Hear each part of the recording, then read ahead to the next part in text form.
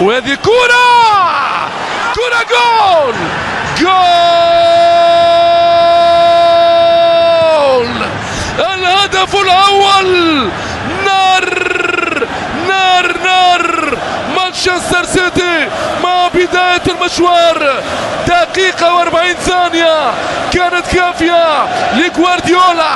ومانشستر سيتي لأخذ الأسبقية على الأراضي الهولندية! فان برونكهورست في حيرة من أمره.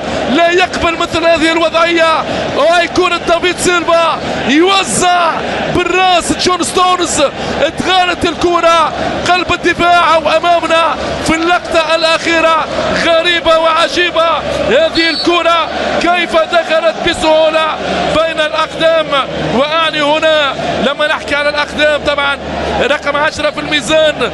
توني تريندات بالنيران الصديقة يكتوي الحارس الأسترالي براد جونز. هذا هو العمل. عشرة دقائق لعب اثنين بلاش لفريق السيتي. شوف الكرة أجويرو في البداية. كان في التميز برناردو سيلفا لكايل والكر. والكر في القائم الأول. وأجويرو على طريقة كون أجويرو. يضع الكرة في الشباك الأسترالية لبراد جونز. هدفان لصفر. هدف بمعدل لكل خمسة دقائق.